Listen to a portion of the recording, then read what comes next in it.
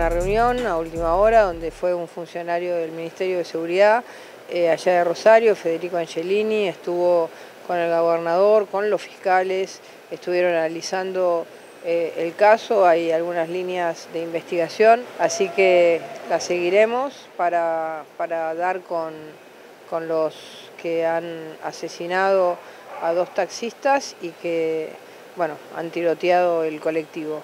Eh, lo que nosotros sí definimos es que estos son acciones de tipo terrorista.